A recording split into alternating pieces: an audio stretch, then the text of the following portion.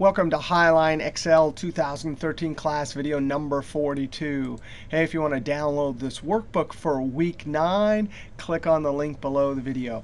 Hey, this video 42, I'm actually going to come over to the topic sheet for week 9. Actually, video number 1 that you just watched was a 40-minute review of all of the chart basics we learned in Office 2013 class. So you got to watch that video first. And then these videos, we're going to go into some more advanced topics.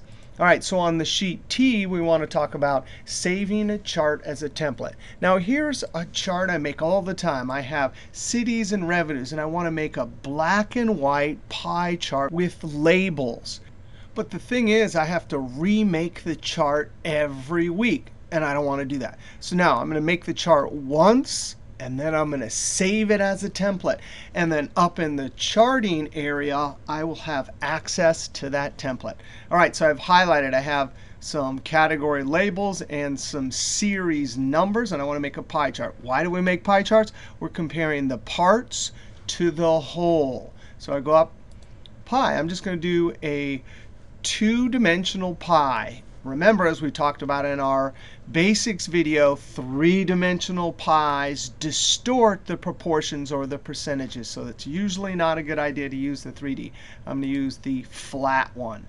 All right, so now I want to come over to this great button and add some data labels. I actually want to go and show more options. This will open up our task pane. And then over here, I want to include the category name. That'll be the cities from over here and the percentage, value category percentage, and show leader lines. It probably won't show up, but we'll keep that there. All right, now we need to come over here and get rid of our chart junk. I do not need this because this has our category names, which are going to be up in the chart as labels, so delete. Revenues are fine. Now let's come back and click on these labels, scroll down, and I'm going to say Oops, wrong one. We got to come over to our series, come over to label options, scroll down and say outside end. So that's looking pretty good. Now I want to click on the actual pie, and we're going to use color. So we come to this chart styles, come to the second tab colors, and I'm going to scroll down, and there's that black and white that I like with some grays. And that's it. Now in this chart, we did some simple things, but you could do whatever you want. But once you have it set, now I simply need to right click, and I'm going to right click down a little bit lower, and save as template. And just like that, it's going to ask me for a name. Here's the file path, and there's the charts folder where this template will be saved.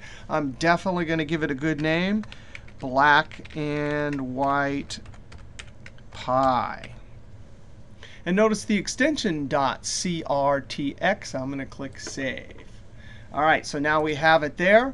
If I get my next week's data, I simply highlight it, come up to Charts, All Charts. Whoops, let me scroll over here. Templates, and there it is. I simply click OK, and there's my new chart with all of the settings. I don't have to recreate it each time. So saving as a template is awesome. All right, we'll see you next video.